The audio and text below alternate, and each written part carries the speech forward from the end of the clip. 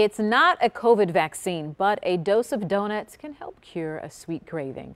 National Bakery is making these donut vaccine kits. They include six glazed paczkis and syringes with raspberry filling to pump into the dough. They are only available tomorrow and you have to pre-order the box, so you got to get on the phone now.